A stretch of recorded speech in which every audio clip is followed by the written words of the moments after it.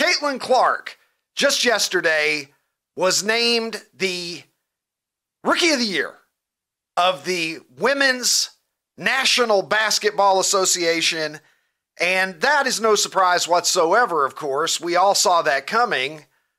But what we didn't necessarily see coming is that she was not a unanimous selection.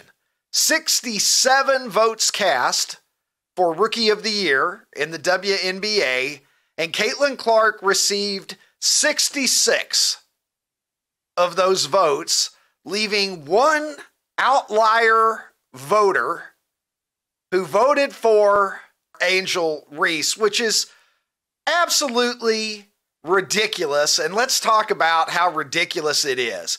Angel Reese, again, I'm tired of saying this, she's a good player. She's a good player. Caitlin Clark is a great player. And there was no question who the better performer was during the course of this WNBA season. I mean, it's absolutely ridiculous. I might as well get a rookie of the year vote in the NBA next year because I would deserve it as much as Angel Reese deserved that vote. Caitlin Clark tweeting out to her uh, to her legion of fans that year one check mark. Thank you to the many people who have supported me as I've lived my dream. I'm filled with gratitude as I reflect on this past year of my life. See you all in year two. And that's exactly the kind of energy that Caitlin Clark seems to always bring. And it's a huge part of why we like her so much. But somebody out there had to be the turd in the punch bowl. Caitlin Clark, already a unanimous Rookie of the Year selection from the Associated Press. This is the WNBA's league award. And so somebody decided that they were going to step up and they were going to be the person who was not going to allow her to have the honor that she deserves. And I understand she's got the award one way or the other. This is far from the first award voting, Hall of Fame voting injustice that we've ever seen. I'll give you two right off the bat. When Hank Aaron became eligible for the Hall of Fame, he was the all time home run leader. Some of us still feel like he is. Barry Bonds, we know what you did.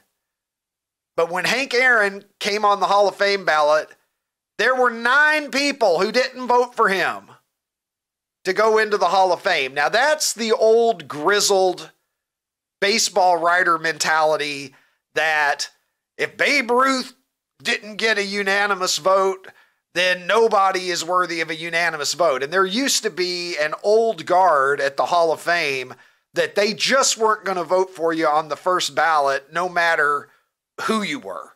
Willie Mays, when he went onto the Hall of Fame ballot for the first time, and I consider Willie Mays an even greater player than Hank Aaron. Some people consider Willie Mays to be the GOAT. Certainly, he's on anybody's top four or five baseball players ever. If you don't put Willie Mays in your top five, you immediately have disqualified yourself as someone that I'm going to give any credibility to your baseball opinions. Willie Mays was not voted for his first year on the Hall of Fame ballot by 23 people. 23 people. So this isn't the worst injustice that we've ever seen, but it's pretty ridiculous. Angel Reese playing for a team that went 13 and 27, missed the playoffs, and their coach got fired and she missed the last six games of the season with an injury. Caitlin Clark plays all 40 games, leads the Indiana Fever to their best record since 2015, leads the league in assists, puts up almost 20 points a game. Angel Reese shot 39% from the field, and she took 90% of her shots from inside eight feet. Okay? it's nice that she is a very good rebounder. But again, there is a good chunk of her rebounds that are her own bricks that she has laid from the paint. So, whoever it is that did this, I hope that you at least have the courage to come out from under whatever bush it is that you're hiding in and own the fact that you voted for somebody who in no way deserved that honor just so you could make some point that you wanted to stick it to Caitlin Clark and you wanted to stick it to the people who have backed Caitlin Clark and cheered for Caitlin Clark. You're an idiot, whoever you are. I just hope that you'll come out, face the public, and let us all know your idiot identity. Ron, you have anything you want to add to this before we move to the poll of the day? You know what I find comical? That we've opened, I think we've opened every show this week with some NBA, WNBA, this or that. You know, I have literally no idea. And I am not, I'm not saying this for effect right now. I have absolutely no idea what's going on in the WNBA playoffs. I don't know who won. I don't know who lost. I don't know who's up. I don't. I know nothing about the WNBA playoffs. The only reason they are still getting talked about on anywhere that's other than probably ESPN, it's because of this stuff. Nobody gives a flying rat's ass about that league and what happens. Harsh words from well, Ronnie. You called T-shirts. somebody an idiot. Look, well, you you spoke your I'm truth. saying I spoke the ratings, mine. The ratings have plummeted. They've plummeted, Ron. You know they haven't just dropped. It's a full-on free free fall when somebody uses the word plummet. They've plummeted. And Jemele Hill, Ugh. I know one of your favorite Ugh. media personalities, Jemele Hill tweeting, I keep seeing irresponsible headlines claiming the WNBA playoffs are down because of no Caitlin Clark. Would the ratings be higher if she were in it? Of course. But guess what? A finals would rate higher if it were LeBron versus Steph or if big market teams were in the mix. So what? That's the headline. So basically, she's saying, yes, the ratings would be higher if Caitlin Clark was there. So why is telling the truth irresponsible? Since when did stating facts become irresponsible, Jemele Hill? Well, you know why. Don't understand that. You don't you understand that. You, you know you know why Jemele says anything, right? You know what she's thinking, right? Yeah, mm-hmm. well, you know, kind of her thing. She's kind of her thing. She's she's not subtle. She's not subtle with her motives a yeah, lot of the time. Look, are, the ratings are way down without Caitlin Clark. My question is, and I don't have the answer to this, but how do they compare to what they were like last year? How do this year's playoff ratings with Caitlin gone? Did they plummet, but they're still better than they would have been? Or did they plummet back down to non Caitlin Clark levels before she entered the league? I think that is probably, you know, one of the more telling answers that we could get here. Well, I think I think logic would dictate that that the ratings are probably better now because I mean there's going to be some contingent of people that were unaware or didn't care at all about the WNBA before Caitlin Clark, then started watching it and said, "Oh, okay," and and they they, they they're going to keep watching. So I would assume the ratings are better, but it would still be because Caitlin brought them to the W the regular season WNBA this year. So I would imagine that they're better than they were last year. But again, I I don't know anybody that knows anything that's going on in the WNBA or even cares right now from a pure on the court standpoint. Well, you know, Jemele says if it was LeBron versus Steph, the ratings would be higher in the NBA Finals. Look, she's right about that. Yeah. But Caitlin Clark, Caitlin Clark, eh, she she's LeBron and Steph and Durant and every player rolled into one. They don't they don't have an option two, three, and four in that league yet in terms of the mainstream public perception. A'ja Wilson is a fine player, but she's not a household name in her own household. Give Caitlin Clark another five years And maybe she can build the star power up to where people will care more if Caitlin Clark isn't involved in a series. But in one year, we're not going to be there just yet. So it's however you want to spin it, Jemele Hill. But the fact is, without Caitlin Clark, the WNBA goes back to relative obscurity again until next season begins. And that's just the way it is, whether you like it or not. Facts don't have feelings. It's just the truth. And let's go now to the poll of the day over at Super 70 Sports.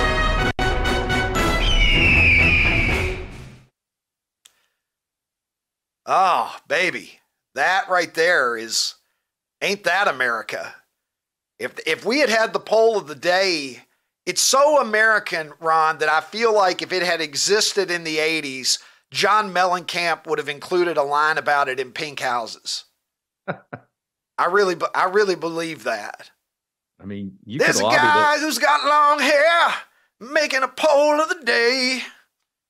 I don't know, Ron. I got the singing out of the way early at least. You don't have to. I didn't I didn't see that one coming, but you know, here we are.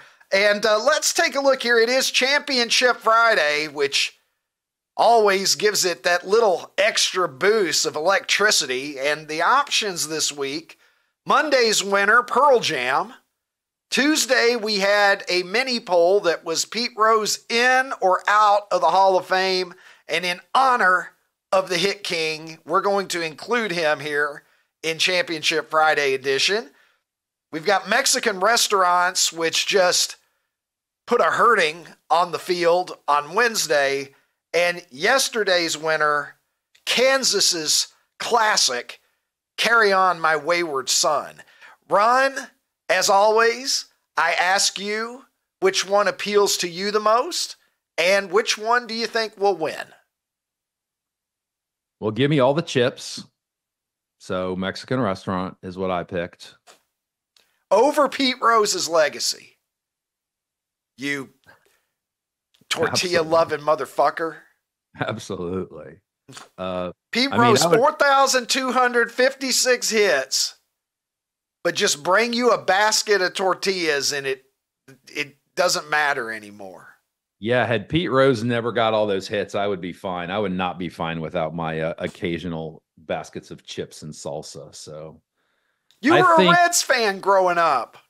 I don't care. That meant something to you when you were wow. Like look at that, unapologetic. Chips. I, you know what? I admire baby. it. I admire Chips. it. Unapologetic. Yeah, so I think Pete Rose is going to win uh, because it's uh, because of the proximity of his death. I think if you would have done this poll six months from now, I don't know if it would, but I think it that's gonna that's gonna win. Um, and I don't really know Or six months Baltimore- ago. Yeah, yeah, yeah. you think yeah. he's going to Uh, get the? You think he's going to get the vote? Sympathy vote. Sympathy vote. Yeah. sympathy sympathy vote Mhm. boost. I'm torn. This one is actually really interesting to me because Pete Rose is, you know, in this poll and I wasn't even sure if we were going to include him and then I thought this morning, yeah, you know what? Let's include him. I boy, I think we've got a good race here. This this one might actually be pretty close, Ron. So, uh, producer Tim, do what you do, my brother, and let's see what America has to say about America's poll. Championship Friday. No, well, I was completely wrong as usual. You were right. Pete Rose. We all feel bad that we lost the hit king this week, and Pete Rose is, in fact, so much sympathy out there for Pete Rose right now that he beats even Mexican restaurants, Ron. I mean, I'm not surprised, but I'm I'm not going to vote because I think that's what everybody else does. I mean, I would rather have a Mexican restaurant than Pete Rose being in the Hall of Fame. So Yeah, you're not some front runner, but uh, you know, maybe in a way this is Pete Rose's Hall of Fame. Can Hank Aaron say that he's ever beaten Mexican restaurants in a poll? You know, the greats of the game, could they claim that? Babe Ruth never beat a Mexican restaurant in a poll, so in in a way perhaps this is the honor that Somebody, even greater. Somebody should somebody should go onto his Hustle. Wikipedia. Somebody should go onto his Wikipedia page and and edit it and say that he actually uh, did beat Mexican restaurants in the Super Seventies Bowl. I feel like we've got at least two or three people watching this program right now that are crazy enough that they would do that. So if you do that and you send me a Wikipedia screenshot, Screenshot. of it, I'll send you a free shirt. But just Mhm. the first person that contacts me, if you can get it on Wikipedia, even for three minutes, that Pete Rose beat Mexican restaurants Love it. for this honor, I will I will send you a free shirt, but just the first person that contacts me with proof. So there you there you have it. Carry on, my wayward son, in danger of becoming the first option that doesn't reach the ten percent threshold. Ron, Yeah, I uh oh, and there look, it just changed. It just Oh, changed. It's at ten point one. It's at ten point one. wow, Look at that. yeah, that's the that's the Mendoza line right there. Ten percent. If you if you're at at least ten percent, it's a weak showing, but it's at least you at least you pulled one tenth of the public. But Right. if you go under ten percent, that's that's a humiliation there, and I would hate to see that happen to Kansas.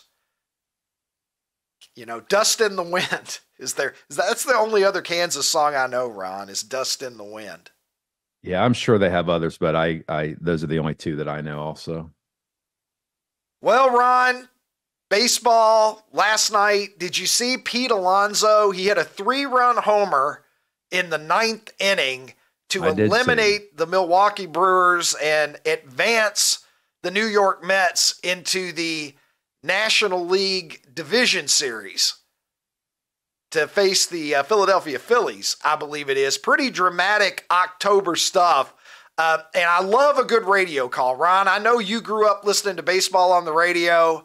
So did I. Baseball is almost better on the radio, I think. A lot of us would argue. You get to paint that picture in your mind, and there's nothing like a good radio call. And let's go to the New York Mets, Howie Rose, and hear how he described it last night. The Mets down two to nothing, top of the ninth in Milwaukee, with one out, and Pete Alonso at the plate.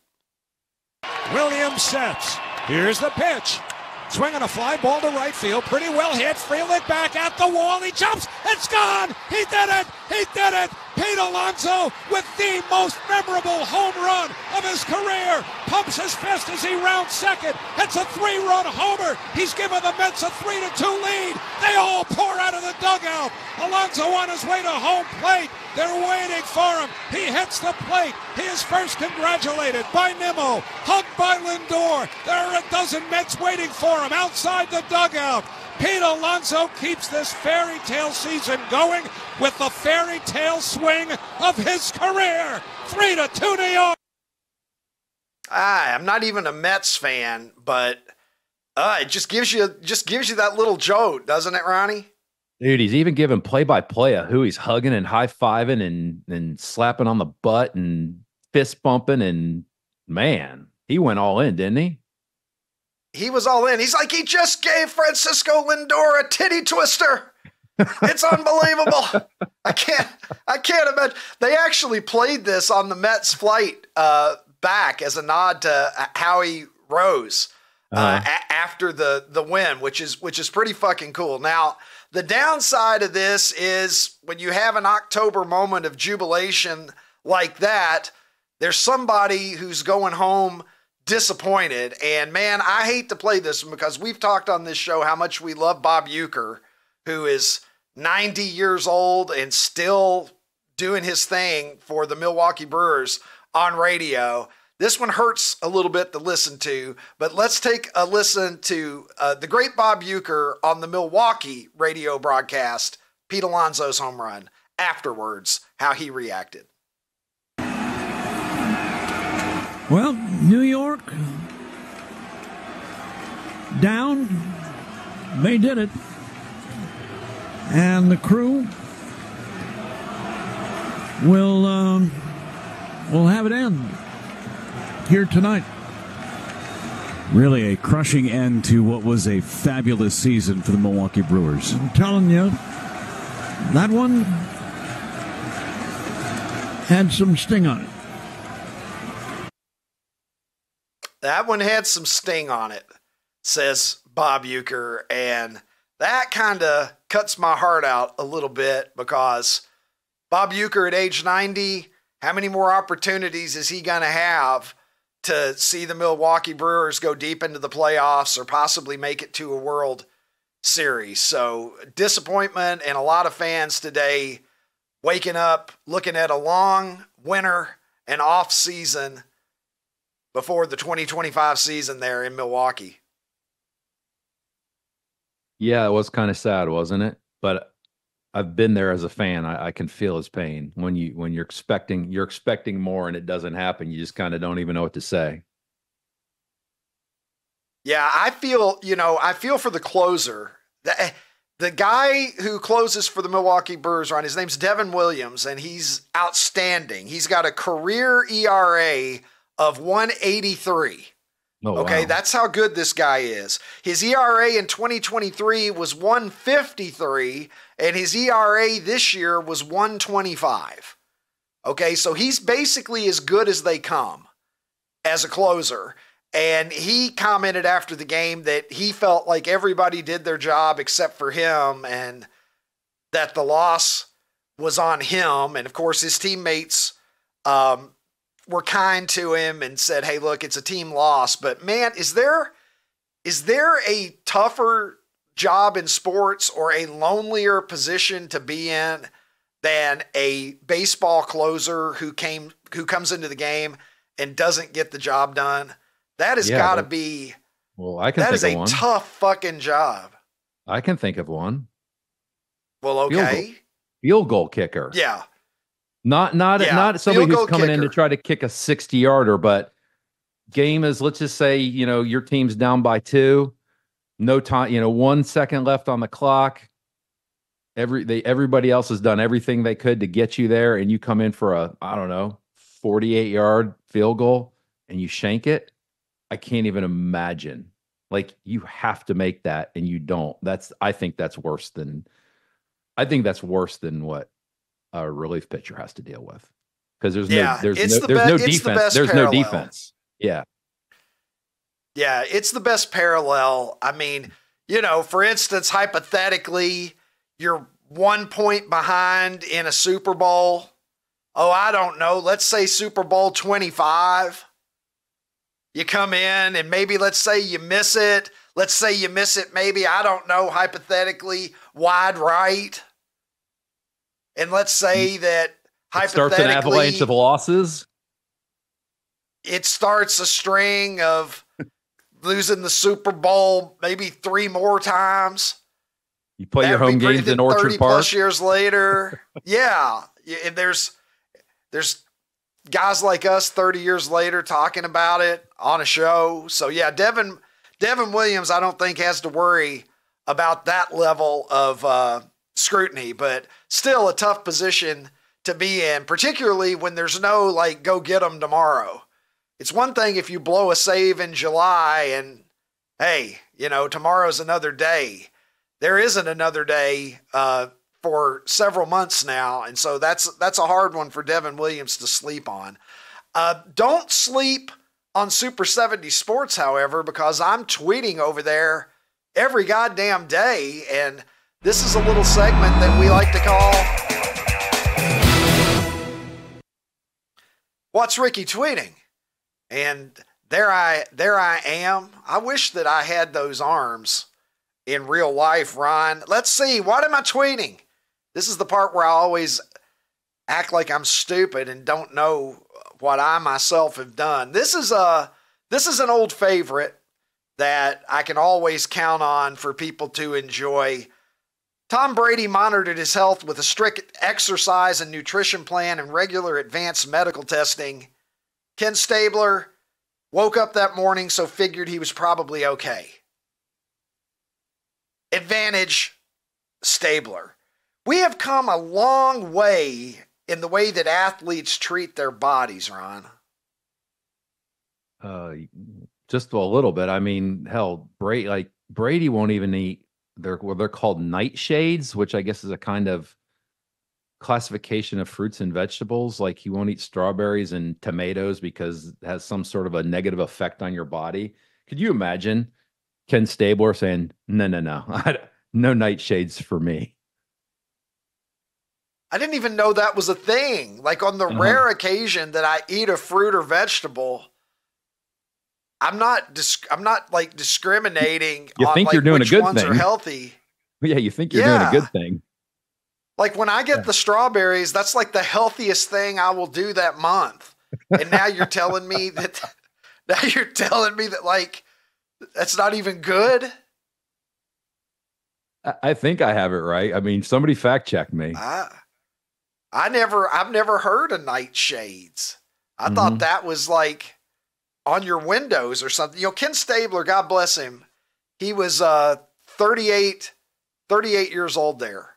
You know, it was just a different era. I guarantee you that Snake had more fun than Tom Brady. Tom Brady's wife was what was she like having having sex with her trainer or some some guy behind Tom Brady's back? Well, it was it was it was her jujitsu teacher, and it was after they Ah. broke up. So let's uh you know let's oh, it was. I mean- ah, it was. A, are, are we sure it was after? The I rumors I heard is that. Mm. Eh, I don't know. You got to watch your your wife's jujitsu teacher. Right away, that motherfucker's suspicious because he teaches jujitsu. What kind of guy? To, and wasn't he like from an, another country? I think he was. Yeah, I think, I he think was like Brazilian too. good-looking Yeah, I dude think- from. yeah I think he was see? Brazilian also. Yeah, Brazilian jiu-jitsu instructor is, is just another way of saying I'm going to try to fuck your wife. Right there. That's code for for that. Ron, here's one again. This is uh this is kind of an evergreen super 70s classic. This is uh John Daly and his ex-wife. He's got several ex-wives. John Daly wrote a song called All My Exes Wear Rolexes. Ronnie. Uh, and this is this is one of his exes. And I said one day when they finally look back and evaluate everything, pretty sure Western civilization reached its apex right here. And that would be on the 18th green of the St. Andrews Old Course. There's the ninth. There's the 19th hole. Thank God that that didn't. Uh, thank God it didn't go to a playoff. Is all I can say. I can't remember. I don't think it went to a playoff. Maybe it did. He beat Constantino Rocca, the Italian, the fine Italian professional, to uh, win that British Open, Ronnie. And we just saw him in a Hooters this year. I, to me, that's the perfect follow up to that picture. The guy in the photo there, the star, well, the star of the photo is the guy with the butt crack, I guess. But Sure. John Daly, thank you. Let's get another look at the guy with the butt. If you can't find the butt crack, just look for the arrow, folks. It will it will helpfully lead you there. But yeah, John Daly in a Hooters is uh where where we where we bumped into him yep. in Augusta, Georgia. Yeah. While we were at what stage of our it, what were our emotions like at that time? Had we resolved our problem at that moment or were we still I don't, you- feeling yeah, like we had just both ruined our I can't. I- can't. I mean, remember. you had ruined I, your weekend and you had ruined my life. I think it was before, and this is funny because nobody knows what we're talking about because we've never told this story on the air. One day we will one day we will tell the short version publicly. Yeah. Yeah. Um, yeah, we got kicked out of Augusta National Country Club. We were too hot for Augusta this year. and one day we will tell the story. We were banned temporarily Interpol. before it all on worked Interpol. out. Yeah. we we were on Inter we definitely were. I was identified. I was identified there on the on the perimeter of the grounds. They were very con- they were very concerned. If we had Augusta security running the border, I promise you everything would be fine. They should take over the Secret Service too, Ron, They should take over the because country. they're competent, They they're should take over the efficient, country. they're they're reasonable. I have nothing but good things to say about Augusta National and the Augusta National security team. They they were wonderful people and uh, very fair and got the job done. Did you have fun diving into the end zone today? What? Did you have fun diving into the end zone? Yeah, I thought I was you got in. I thought I was in. You were. You were. Yeah, well, I think that's the good thing about Sark is he always coaches me pretty hard. Um, you should come to a practice. It's pretty intense. Can you get us in? You think you maybe should have slid on that one eight-yard carry? Yeah, I, I, my, my family's gonna get mad at me for not sliding. I think every time I call my grandfather, he says get uh, get down or get out of bounds. So I probably should have done that. Arch Manning. Kid's got a good personality. I like him. Bright future. The NFL doesn't feel right without a Manning at quarterback somewhere, so I'm rooting for this kid to have a long and successful career. He's pretty funny, a quick wit, not unlike his uncles. And let's bring in now a man who knows more about college football than anyone that I know, not named Ronnie T shirts anyway. I'm speaking of Outkick's senior college football writer, the great Trey Wallace. Trey, welcome to the program, my buddy. How's it going? Man, it's good. It's good. It's been a uh it's been a crazy man, it's been a crazy five weeks to start the season. And man, we're only in the first month of October, first week. So this is uh just prepare yourself. We have three and a half more months of this. It's it's gonna be fascinating. Yeah, just barely into October. We got a lot to look forward to. I want to ask you about UNLV, man. That 4 and 0 now. They rolled. They got a game tonight against Syracuse. Is it no Sluka, no problem here? Are we just going to switch gears and the train's going the the rebel train is going to keep rolling? What what are the expectations here? Is they're going to try to slip into that college football playoff? Ricky, I, I think I think UNLV coaches are just fine uh, without Sluka at quarterback. Uh, it's almost to a point now. You know, you go back and you think about it. It's like, man, maybe this guy should have been paying us to be at UNLV. Um, fantastic backup quarterback who's now starting for them, and they got a big game against Syracuse, um, which I, I think they can win. Um, and, and they're making a they're making their way and doing what they have to do. Barry Odom, love Barry Odom as a coach, and it, it, look, man, things could really fall into place where UNLV is in the playoffs this year. Like I, I am not putting that past the Rebels. I had them in my uh, as the at large bid uh, this week in the poll, and I think, look, I think they're just fine. I, I think they're in a better quarterback position right now than they were with Sluka, and the kid is. I don't want to say him, but like you know his representation, and then you know they tried to strong arm UNLV coaches, and UNLV coach was like, all right, deuces. Like we've seen the practice footage. We know what we have. Uh, we're not giving into this blackmail, if you want to put it that way. So um, yeah, the the running rebels of UNLV, man, they are they are making some noise out in Vegas. Yeah, I got they've got to feel good about things right now. No, no question. Uh, Trey Lane Kiffin, uh, you, you, had a great piece this week about Lane Kiffin and and Ole Miss. Uh, tough home loss last week to the Kentucky Wildcats, and you have ca- characterized their trip this week to face South Carolina as the most important game of the Lane Kiffin tenure in Oxford. What? what do we make here? I mean, we came into this season with some pretty ambitious expectations for Ole Miss. Losing to Kentucky at home was not a part of the script. What do they need to do to right this ship? And what would a loss to South Carolina mean for Lane Kiffin and his future there in Oxford? Yeah, Ricky, I, I, think. Look, man, going back to that that Kentucky loss, Kentucky is a formidable opponent. By the way, I mean they, you know, they play good defense. The offense kind of surprised me, but that that's not the point. Lane Kiffin has spent the last year before this season putting together this roster uh, to make a run for a national championship, and and that's by the way spending a lot of money in NIL. And the fact that we did not get out of the month of September uh, without a loss for for Ole Miss, I, I, think speaks volumes. And and this trip this weekend, like let, let, me tell you something. If if they were to lose to South Carolina, their playoff chances would be blown up the first week of October. And because you you can like you can talk about okay, we can run the table, we can beat Georgia and Oklahoma and Arkansas and Florida and Mississippi. No, no, no, no, no. You lose to Kentucky and South Carolina back to back weeks. I don't care really what you do the rest of the season like you're done. You would have to have a lot of things play out with other teams losing to get in. And I, I do think it's the biggest game of Lane Kiffin's tenure. And I know there have been some monster matchups in, in his time in Oxford, and I get that. But from a standpoint of what they have on this roster and the buildup and the expectations from the folks in the Ole Miss area and the Oxford area to where we're sitting right now, where okay, you dropped the game to Kentucky, but you can't turn around and drop a game to a good South Carolina team because that would really throw things into shambles for that fan base, for that football program. Um, folks would start worrying about, in my opinion, what Lane Kiffin would do after the season were to end. And so I, I just feel like this game is is setting up. Now, now I, I look, I expect Ole Miss to go into South Carolina and win, but I think it's going to be a fight. And I think it is the biggest game of his tenure. I, I think there is so much.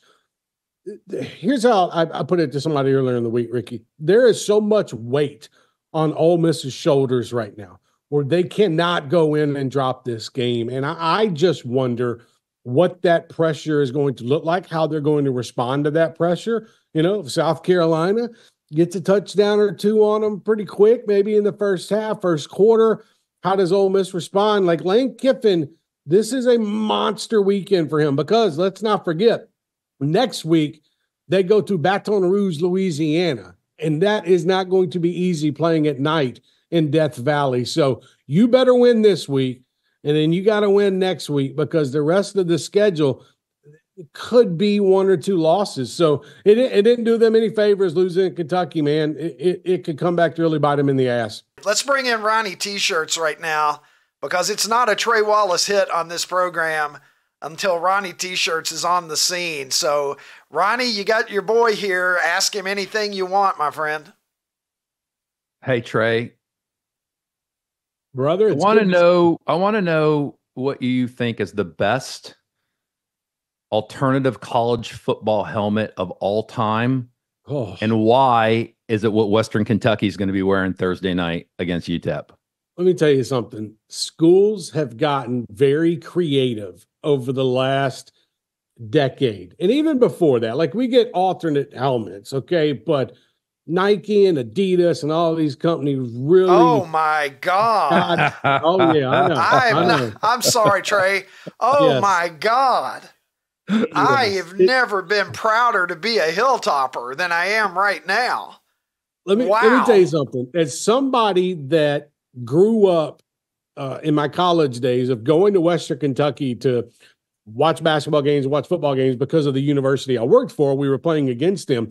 Western Kentucky's always been fun. Like they've always just done stupid things when it comes to, you know, whether it's promoting the program or, you know, basketball and football and whatnot. This knocks it out of the park. Those are like, unfortunately, we had like FIU uh, come out with these these badass helmets because of Pitbull and the Miami Vice way. But then West, you know, Western Kentucky comes out and says, okay, I'm going to get you, FIU. We're going to come out with these crazy looking helmets with the eyes popping out.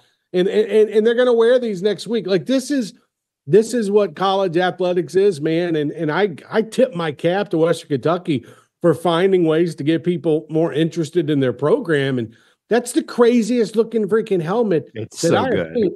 Like Ronnie, so Ronnie, can you imagine Ronnie, like, lining prouder. up on the other side of the defensive line, and all you're looking at is some freaking eyes coming out of a helmet. Like, yeah, they uh, did it. They well, I can I can promise you, I'm going to try. I don't know what network it's on. It's probably going to be like on CBS Sportsnet, but I'm watching yes. that UTEP game next week on Thursday night. Oh, I'm stoked! Like, bring it on, man! Like those those jerseys, those helmets, man. Like, it's going to draw a lot of attention, and I I'm just praying to God. I'm just praying that we get some kind of like pick six and then the defensive back's running down the field and he turns his helmet around and you see the eyes pointing at him. Like that's all I'm hoping for next week. He'll probably Class get of 2000, motherfuckers. that's all I have to say. Class of 2000, never been prouder in my entire entire life. Hey, Outkick fans on YouTube, if you enjoyed this episode, hit the subscribe button and make your way over to Outkick.com where you can watch the full episode.